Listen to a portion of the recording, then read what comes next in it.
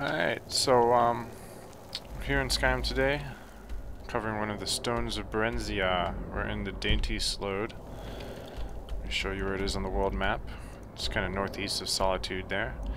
And I have a video, which I uh, should have linked in the description, and if not, um, just post a comment reminding me and I'll be sure to get on that.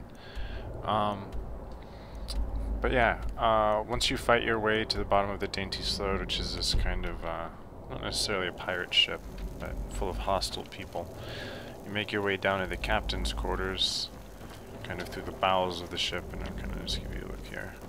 You eventually come down here, just make your way across, through here, around,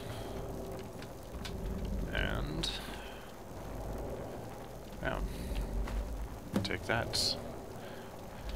Now I've collected five stones of Barenziah so far. That's another one down on the way to 24.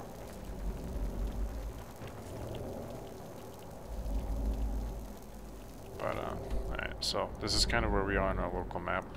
Um, local map's kind of hard to read because there's multiple levels to the ship.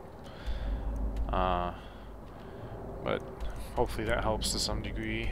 Uh, if not, you know, you can check the video for Dainty Sload and that kind of gives a better overview of uh, the fight on the way to the ship itself.